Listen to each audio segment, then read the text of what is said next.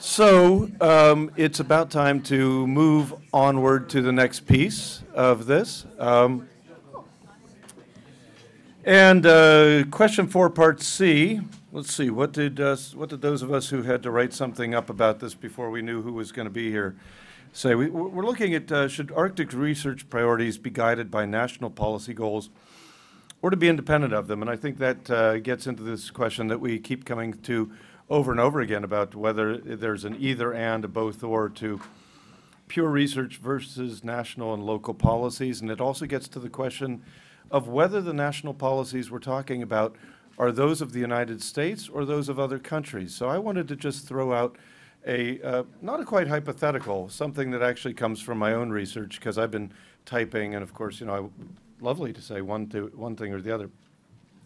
But if I, like many of us here, were to propose a research project, I'm an archaeologist for those of you who hadn't realized that. I don't have quite as much mud on my hands as I normally would like to.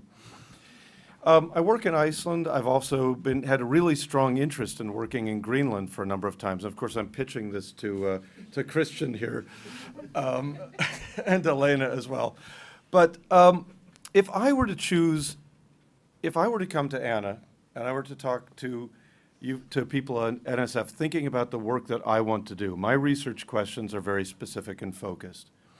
And I'm sure that the sites that I would choose, if I weren't thinking otherwise, that I wanted to excavate would be ones that really focus directly in on the research questions that I had. And I know from sitting on panels that to some degree, if they didn't, and I couldn't make the argument that this is the right place to be, I might not get the funding.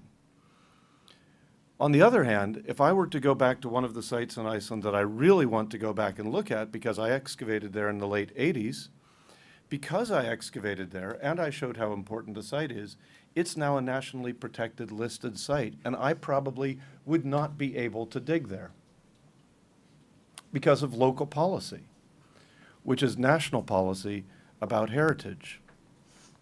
And if I were to come to someplace like Greenland or to Iceland, my interests in looking at those things from the outside might well have nothing to do with local policy, national policy, or priorities about the kind of work that really needs to be done, the sites that need to be excavated, translate that into your own discipline, and how we then put those together. So I guess, Christian, at some level, um, let's just uh, have, I'd like to ask you to bring in some idea, and maybe Lena as well, because if I were to come in with a half million dollar grant to Iceland, or let's say a group of us came in and and $10 million gets poured into looking either at Inuit sites in Greenland or into Norse sites in Greenland, it also changes the balance of what kind of work can be done and whose national narratives or, or cultural narratives are being told.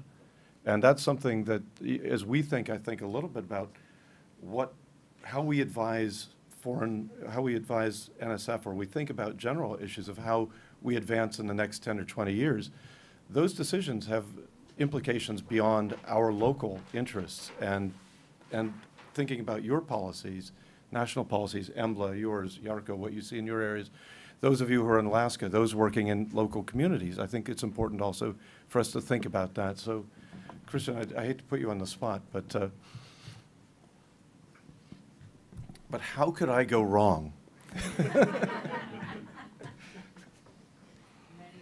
I, know, I always do, and I, I said yes to this project. Let's stay optimistic and talk about how many ways you can do it right instead. Ooh, I like it. So, uh, well, first of all, I have uh, just a bit of comment on, on what we talked uh, before the break.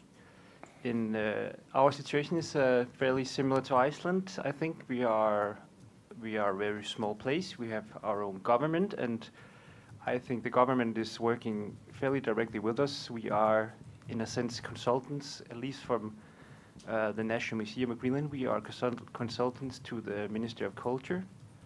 So we have direct interaction with them, which means we are directly affecting policy making in Greenland. In a government that is working for Greenland, that is at least uh, the way it, we hope it's uh, working, and I think it is to a large degree. But it also means that we are, in effect, responsible, and not only should we do uh, good res- research. All of us, of course, we all know that. That's not really the, the thing. Is that we are also responsible for informing the policymakers not only um, about our own research, but we need because it's such a direct relation. We need to sort of also inform them about all the voices in in research. So not only our own, but also maybe conflicting research, and we need to present it in a way that they can use because they also have tight schedules. So we need to make it, like you say, the same as the, the DC politicians. They don't have time or interest in reading.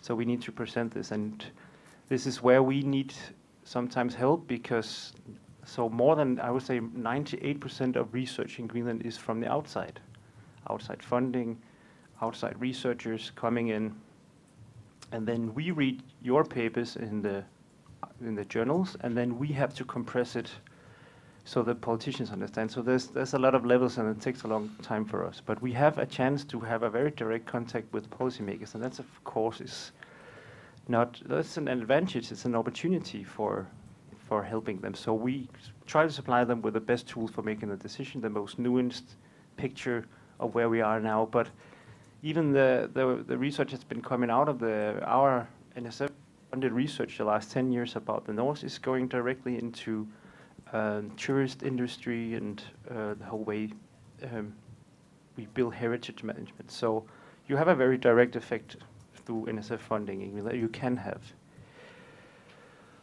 But as we are a small country and we have limited funding for ourselves, it's also so important. Or at least it's it's not your responsibility, but NSF have a really, really, really big chance to make a huge contribution to the Greenlandic society in doing some of what Lena said yesterday. So you can go in and start with the native communities. So, so what, what do, do they want to research? And we are trying, uh, we are working towards the same process in the heritage management. So we know that sites are disappearing all over Greenland, but who are we to decide what to save and not to save? It's the people living there we think should at least have a strong voice in deciding what, are, we- what should we excavate, what should we investigate.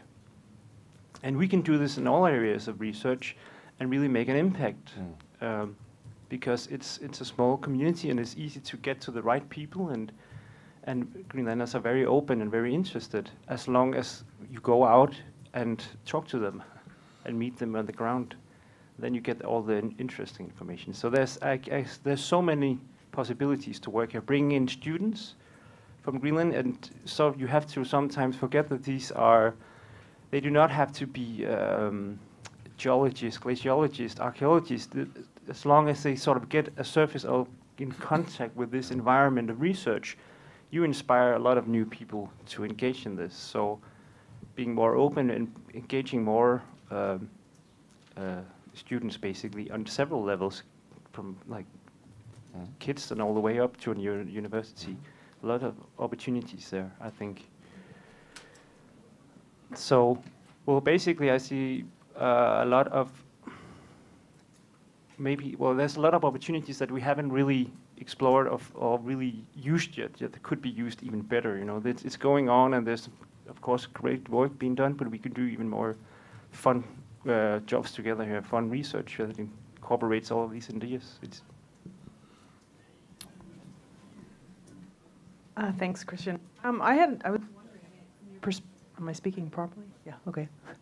Um, From your perspective, I mean, it sounds very positive. Um, Would you say that it's felt that way everywhere, that everywhere, um, or that there's differences sort of in how people feel about foreign researchers coming in? Um, Or would you say that there's also, um, some people are feeling a bit that it's a little colonial, or that it's, you know, not welcome? Because sometimes you do get the sense that, you know, we come in with these big grants and maybe, you know, maybe we are Mm. walking around with our big boots on, you know? Um, I mean, I, I, I hear you, you, you sound very positive, but is everybody, does everybody feel that way? Uh, short answer, no. and, that, and that is because we, uh, the, there's a long history of, of this foreign research, colonial research. Research from Denmark is also still a very huge player there, and it has been the same way. You, like, like Lena was, Lena was talking about. Also, you have people jumping in with a very cool equipment, nice-looking jackets, all like flying in with helicopters. They spend a few days and they fly out, and people go, "What the hell happened? And I think the sentiment in many places I've talked to people is that they're, they're kind of getting fed up with this approach. So, but the minute you start engaging these people, you will get a positive response, I think. Hmm. But if you don't, there's going to be some negative because it is a very colonial, imperialistic way of, of doing this. Mhm. So, Yeah, Anna, and then Gerald. Yeah, no, I just wanted to ask, um, I mean, in, how many, I mean, do you have a sense of, because NSF funds a fair amount of research in Greenland. Um, and we do have some nice, or what seemingly the joint, um, the JSEP, the Joint Arctic Science Program, uh, that works with Greenlandic students, uh, American students and Danish students. Uh, but that's just a few students in general, uh, is there a per, a percentage, like are, are people hap, wha- what's a good model? Are people happy with, uh, the research that's being funded and the engagement that's occurring? Or is there a general sense of unease with, uh, the research that's going on and there's not enough, uh, engagement with the public?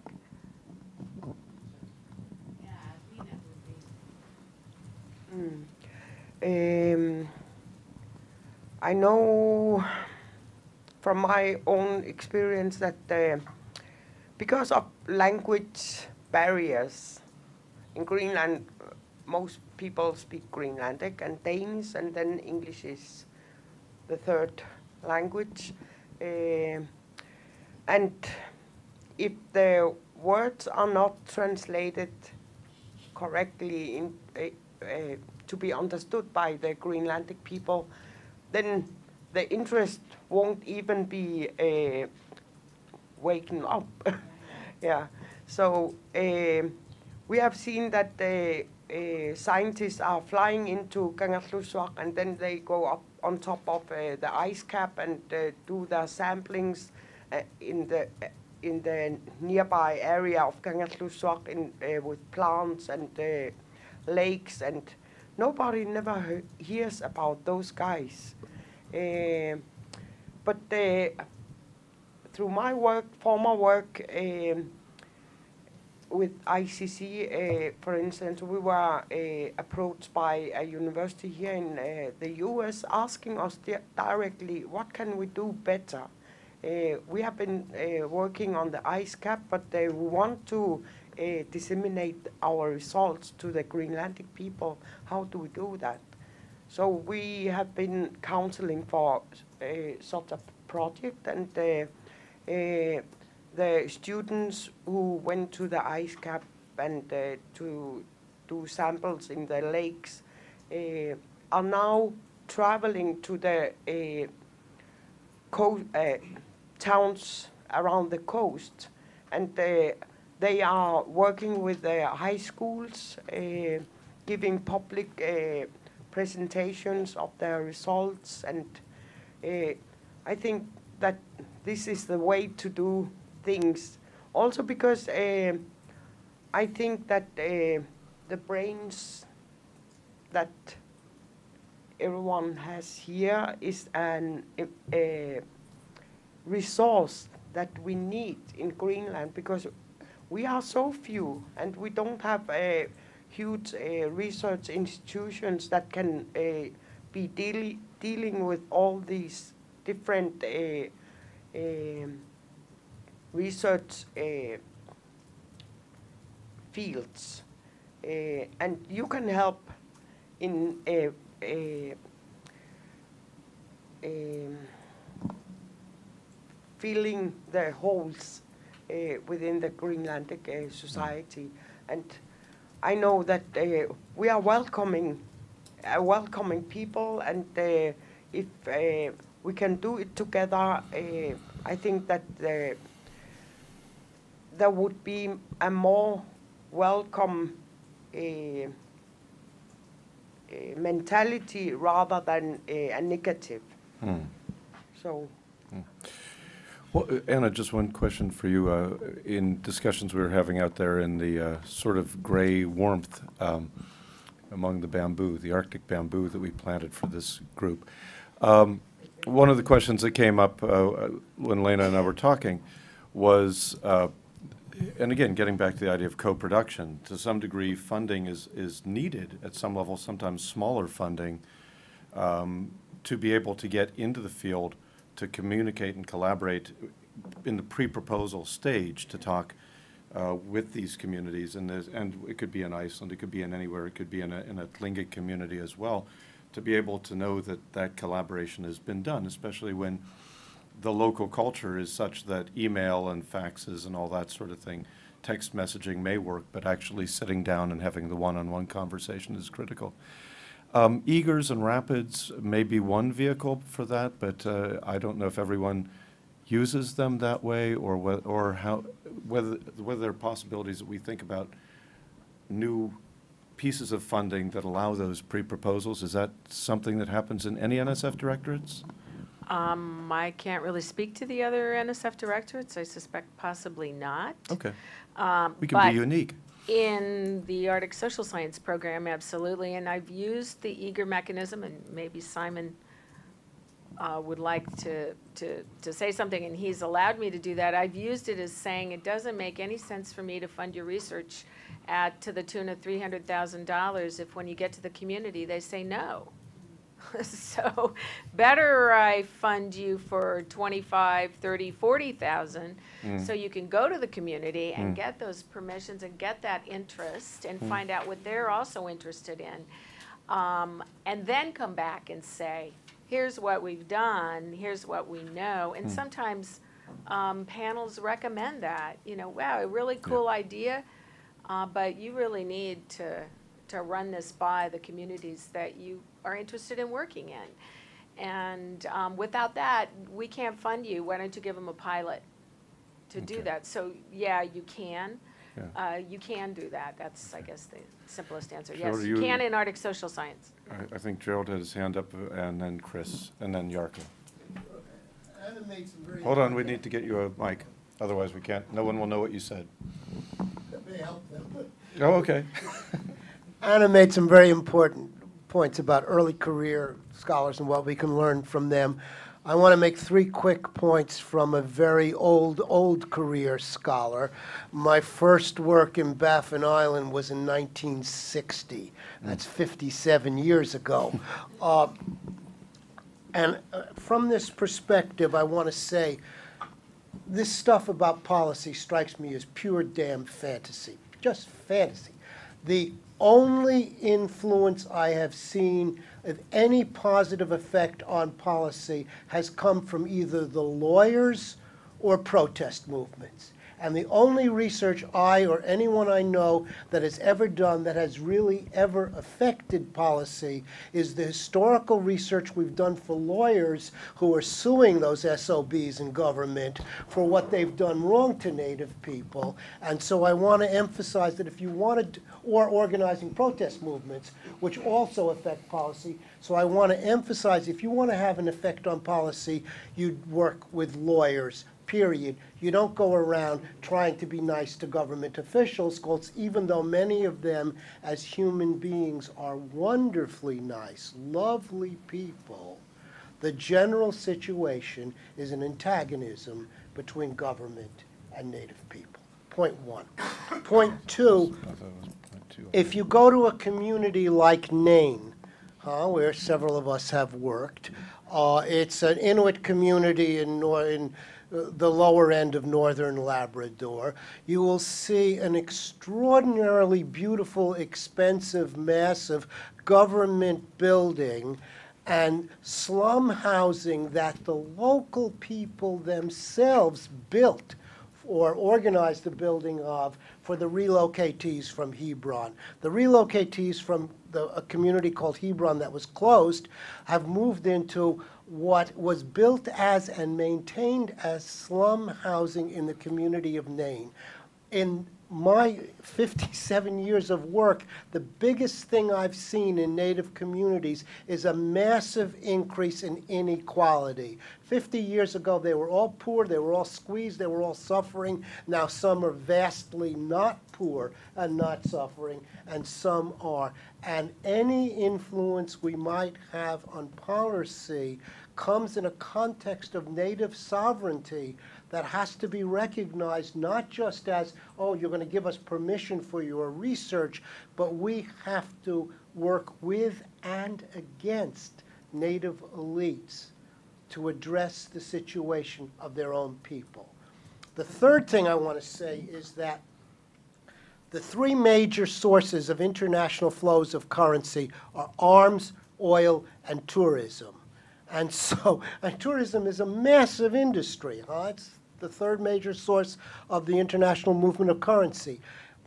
These cultural, quote unquote, uh, ministers who want us to use to develop the kinds of images of the past that attract tourists. Those images,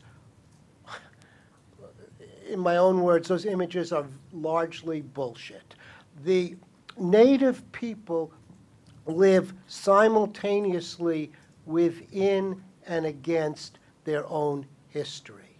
They live necessarily within a history that's not quite past and against a history of colonialism, of oppression, et cetera, et cetera. You all know that. I'm not telling you anything new. What we need to do as historical anthropologists, as archaeologists, as help them develop livable connections to their own continuing history. And the kind of work that cultural ministries want us to do is not helpful. Okay, good, all good points. I think we were focused a little bit more, though, potentially on working within the nat, within the national policies of those communities. Chris, I saw you had your hand up, and I'm not sure if it was related to that. Uh, and Jarkko, you probably have some things to say about oh, tourism. Uh, I, I do, as somebody who works internationally, I work in Canada. There are, I mean, it depends on if you're looking at national policy, maybe some of what he's saying is correct. I think there's obviously ways we can influence more local policy, and I do that through national, uh, the Newfoundland Labrador Archaeological Society, other ways to gain access to some of these higher echelons of power, and those have had effects in terms of how we think about heritage and and things. So I don't, I'm not quite as pessimistic. I think there are definitely when you get to higher levels, it is more difficult, and lawyers need to be involved. And there are actually lawyers involved at these lower levels too. uh, so I, I, I, take your point, but that wasn't the point I was actually originally wanting to to make.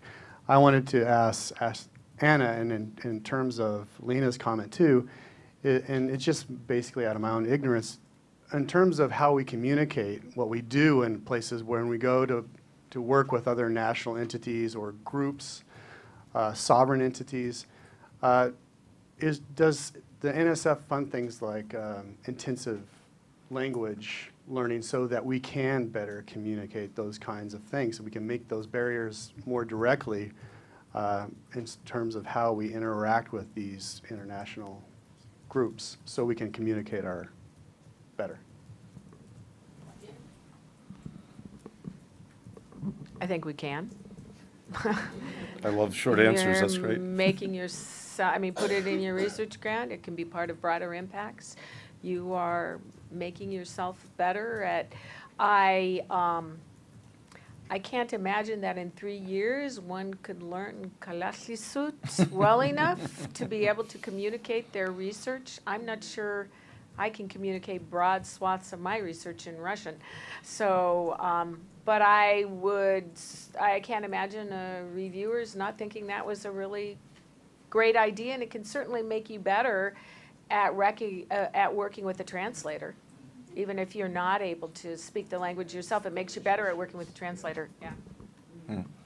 I think Jarkko, you had your hand up at one point, didn't you? Or, or, or, or am I making that up? No, you you don't, but I- it's a bit long that I was raising it. So, but getting back, as you mentioned, the, the tourism aspect, I've, I've done a, well, historically work with Sami and, and, and how they have been used and, and, and depicted or represented in, in, in tourism. And, and clearly, of course, there is a you know, colonial history is evident there. The, uh, local people are, are described as a bit, you know, living in a, still in the past. But I mean, that's, that's about tourism. There's nothing real or authentic, authentic in tourism. I mean, there's a lot of, I mean, in, in, uh, from 1960s, uh, the tourism and authenticity has been discussed.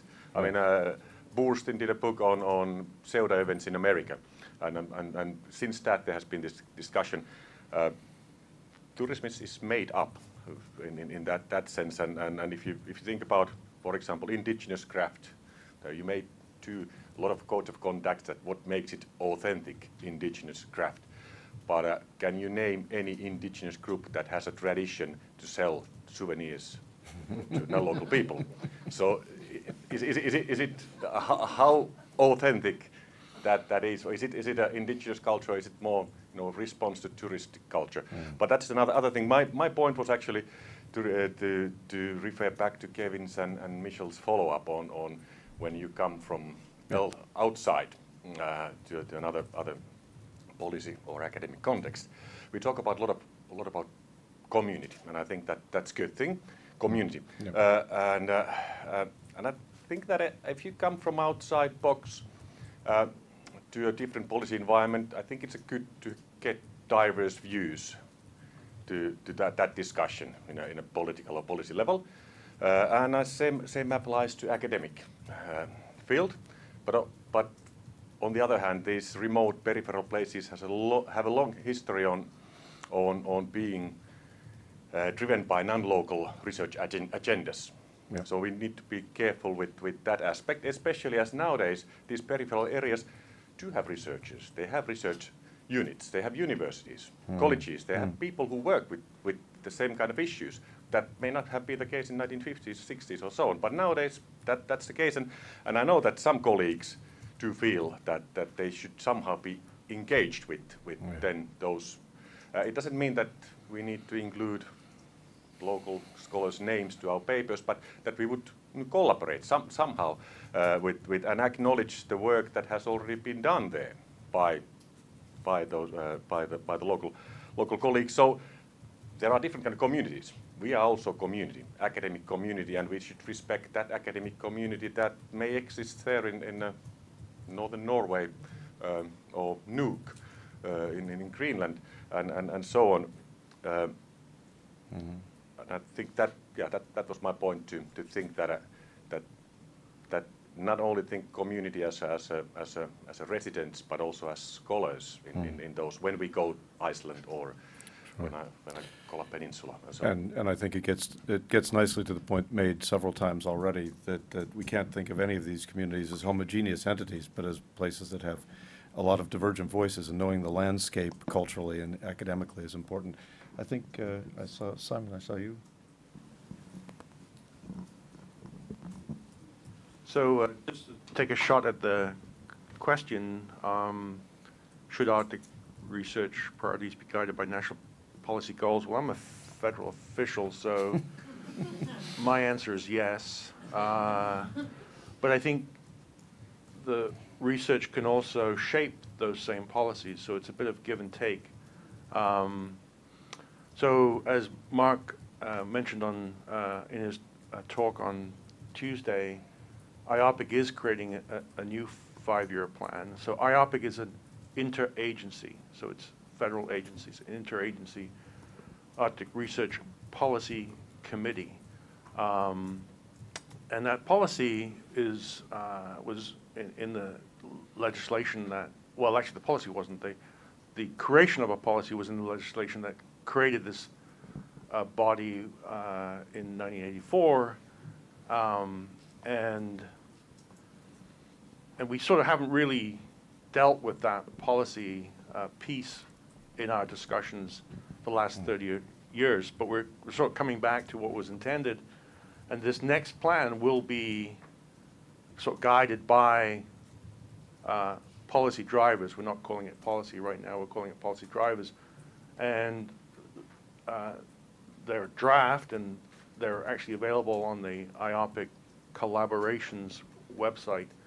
And so the first one is enhance the well-being of Arctic residents. Um, The second is advance stewardship of the Arctic environment. The third is strengthen national and regional security. And the fourth is improve understanding of the Arctic as a component of planet Earth or uh, the, the Earth system. So we're, doing actually quite well on all the areas uh, except uh, enhance the well-being of Arctic residents. Um, the health community is sort of all over that. They're really, they have been in the game, they continue to be in the game. Uh, but I can't help but think that the social scientists have something to offer in this space. Um, it's, and, and that's sort of my sort of request of, uh, it wasn't the intention of this set of workshops, but it could, the workshops could very well con- contribute to informing uh, what we can do. Uh, So the idea is that we, we use those drivers to produce a five-year plan. If we miss the plan, so it'll be done by the end of this administration, um, it's okay because we can keep working along these lines. We can keep on having con- conversations that will, uh, that will sh- will shape things that we say we're going to do as, as a federal investment.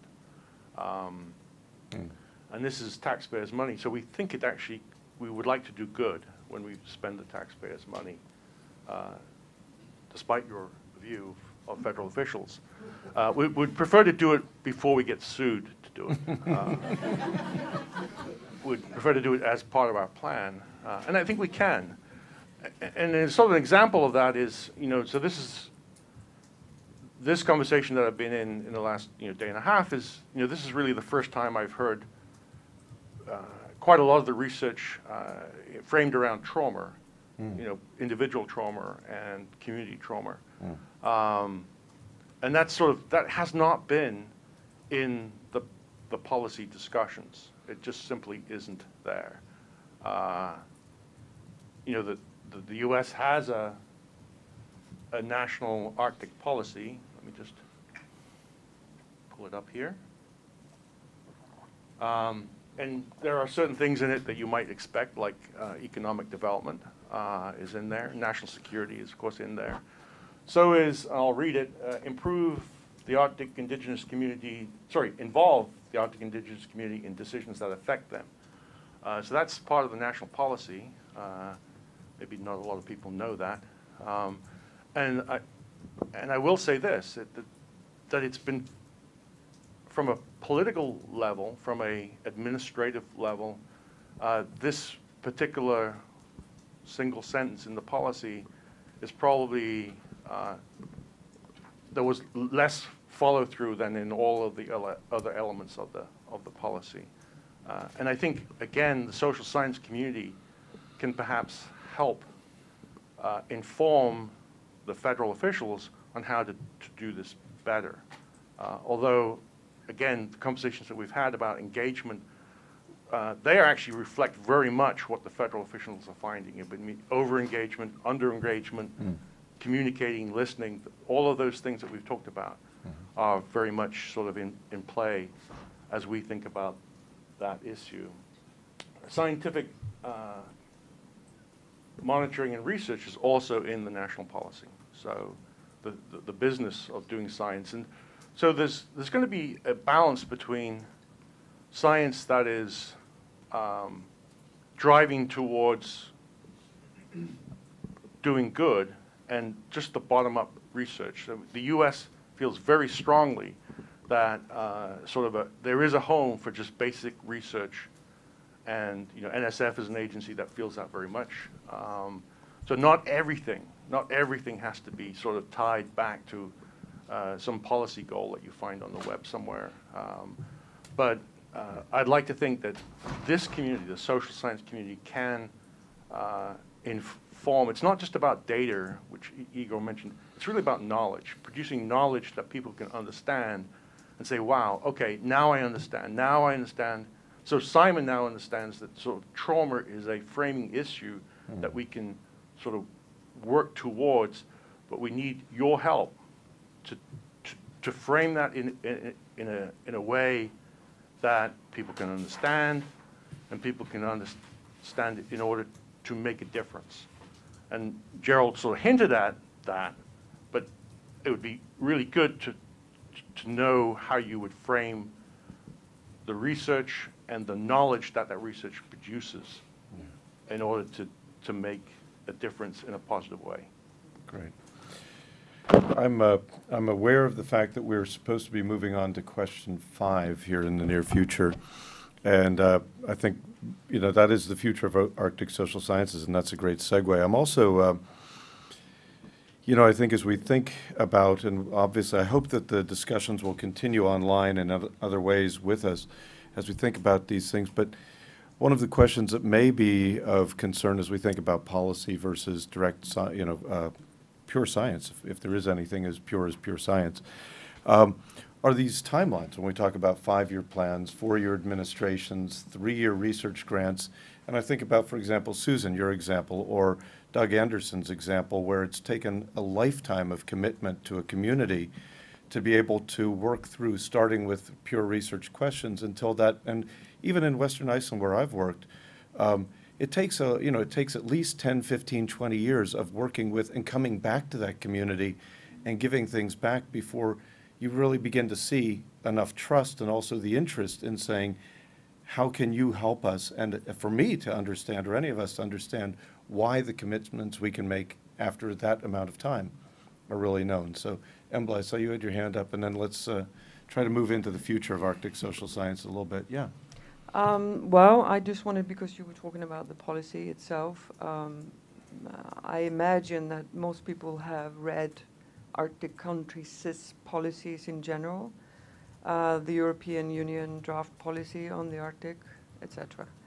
Um, if we're discussing the importance of social scientists and we're discussing the importance of uh, interdisciplinary research with, uh, with between social scientists and natural scientists, then perhaps if we go through all these documents and compare them, what we find is, uh, is a number of contradictions, the largest of which is possibly how each and every state is going to protect the environment, uh, make sure that the region uh, is sustainably developed, but at the same time going to increase uh, shipping traffic, um, extract oil, extract minerals, um, follow the fish wherever it goes and extract the fish, and do all these uh, different extractive, um, engage in all these ex- different extractive industries.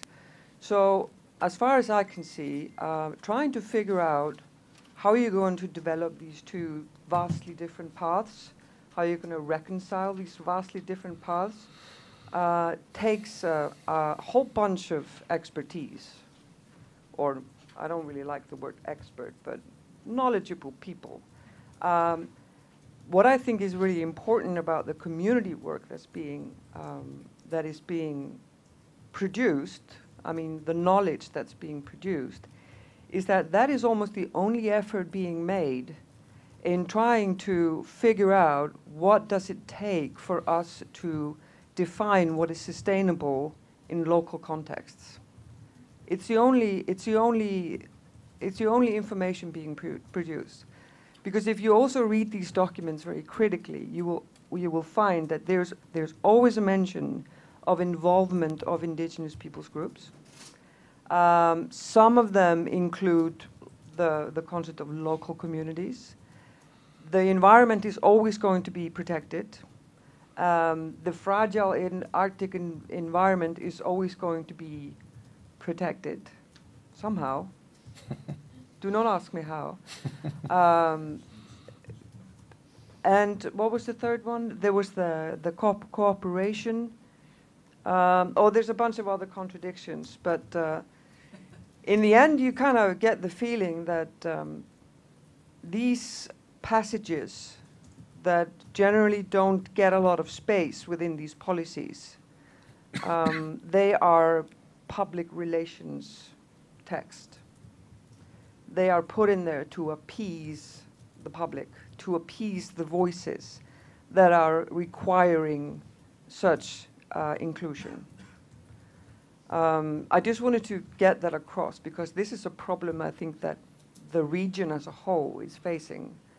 So any kind of any kind of research or knowledge produced or methods produced to increase the quality of research, uh, whether it's done in Alaska or Iceland or Greenland, it doesn't really matter because this is transferable knowledge and it's all very important uh, for policymakers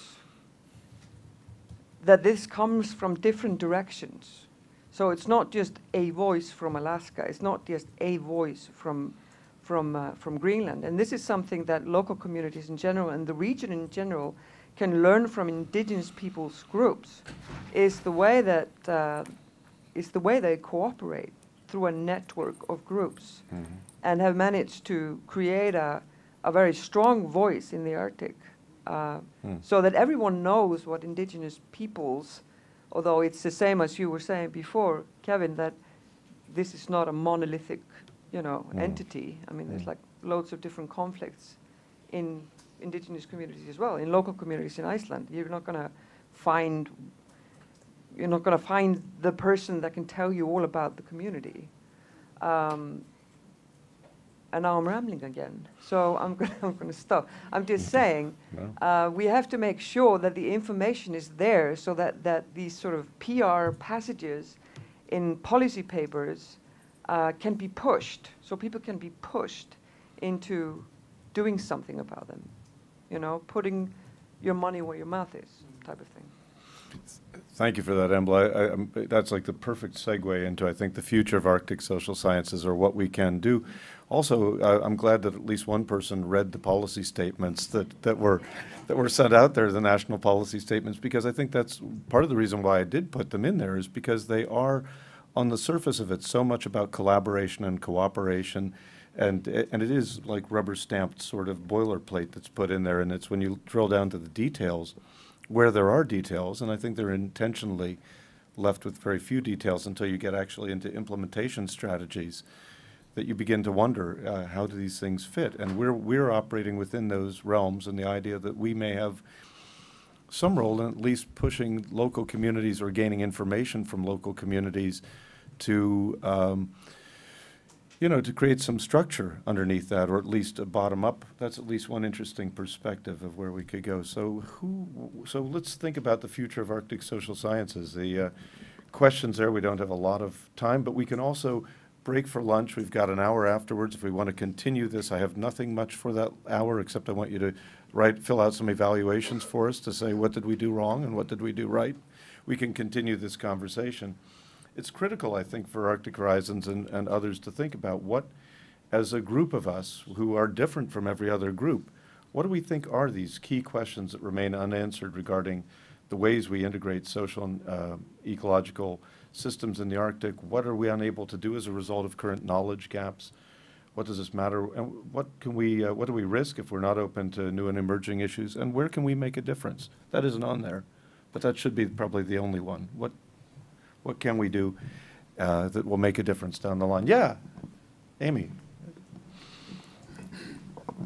So this is in answer to your question, but it goes back to something Jarkko said, and that is that um, when we do think about um, the future and, and asking communities and uh, institutions as well and organizations, right, what their research needs are, I think one of the most important things we don't want to do, though, is forget the past. In other words, because the Arctic has been researched um, so long, there are lots and lots of uh, research and policy documents and um, community-created um, uh, documents and things, you know, that are on shelves. They haven't ever been digitized. They, in other words, I just want to say that as we think about the future, we don't want to reinvent the wheel because you know nobody likes folks to come and say well we're going to study this and they said well we just did that 10 years ago and that went nowheres so I, I ju- all i want to say is that i think one of the things in terms of thinking through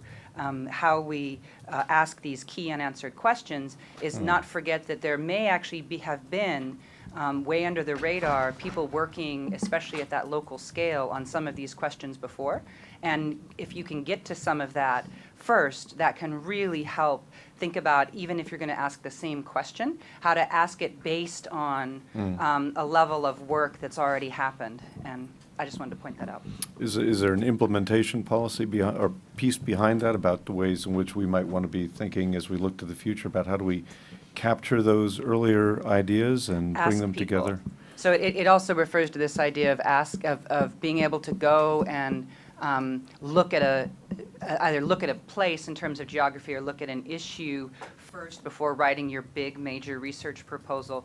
So for example, our work, um, you know, is a participatory scenarios work, and it's on healthy, sustainable communities. And of course, healthy, sustainable communities have been an issue in Arc- in the Arctic, uh, Arctic Alaska for hundreds of, you know, well, you know, recently in research, right, 50 years. So we had to do a lot of phone calling and a lot of archive looking to find, uh, you know, who had done this sort of work, mm-hmm. um, where, you know, what conclusions had they reached, because we didn't want to write a grant that would then say, oh, you've never thought about being a healthy, sustainable community, right? We, so, which obviously people have. So mm-hmm. that's all I mean, is that I think, you know, our, our key unanswered questions are also part of this notion of continuity in, in local scale areas that we've been talking about, and, you know, do your homework and think about how others may have thought about this too. Mm-hmm. That's all I want to point out. Emily?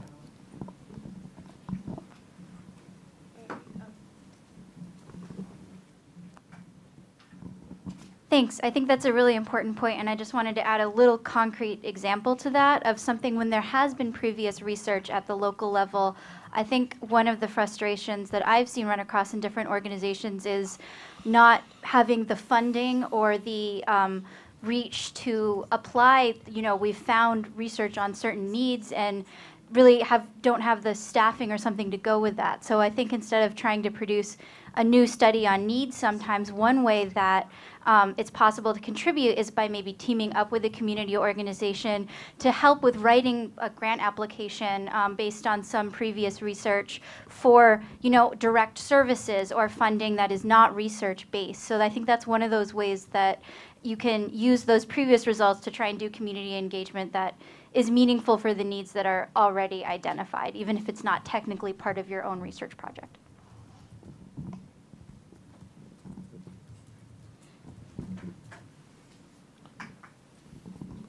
Yeah, Susan.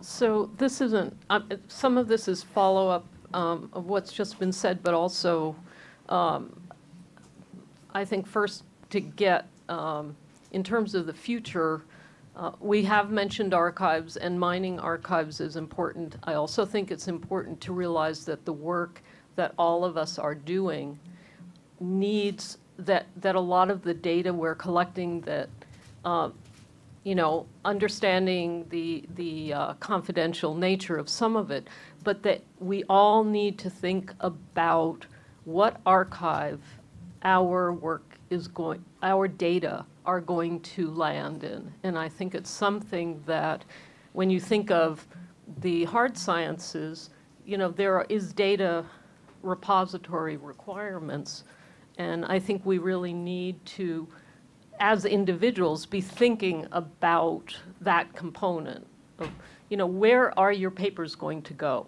so that other scientists will have access to them.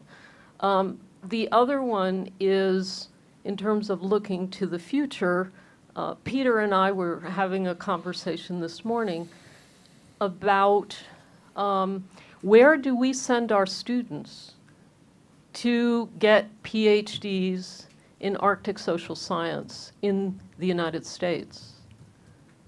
Where can we send them? And I think that um, we can send them to some good universities where a lot of times I know my students end up in South America or wherever because there is not an Arctic mm. social scientist mm.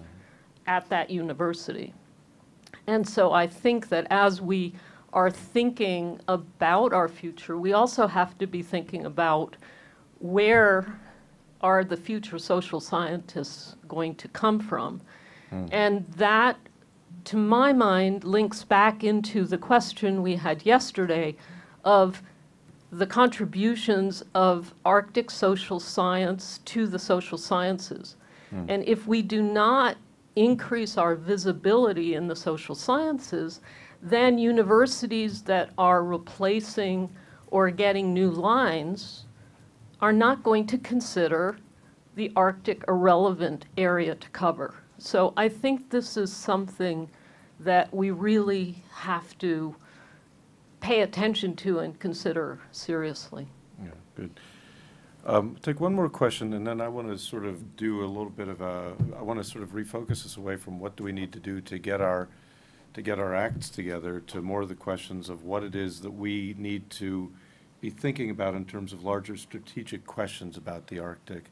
And so I'll take your question, and then I want everyone to take 10 minutes to meet with the two people, the one person on either side of yours. Come up with a list of the three of you, what you think the three big issues are that we need to talk about. And then let's go around and just try to get some of that stuff together. See if we have some, we, at the first day, we had a lot of these discussions. Now we're getting into the kind of how do we do what we do issues, and they're all important. But George, Are we ready for more specific questions? could be? Okay. Um, Well, first of all, echo what, what, what Susan said. I, I completely agree with that. Um, And then the database idea too, sort of, can we put together some more uh, dynamic databases and visualization databases that help our research, but also reach out to the public, different issue. But the main question I wanted to make sure that is in there is, uh, it's a pretty specifically archaeological one, but how, how uh, can we prioritize the recording and recovery of cultural heritage that's threatened by climate change? Um, Because this, I think it's fair to say for a lot of the Arctic archaeologists, this is one of the biggest problems on our horizon. Uh, No, one of the biggest problems now. It's happening, and we need to figure some way to prioritize, because there's no way we can save everything. Uh, If anything, it's going to be a tiny proportion of what's out there that we'll actually be able to record or recover. Okay, great. So it's eleven thirty now. Let's take, uh, as I said, about 10, 15 minutes. Turn to the two people on either side, shake hands with them, say hi to you are. It'll be a little bit like Quaker meeting here or something, and just give, let's get a list of three or four questions that we think are really unanswered and need work.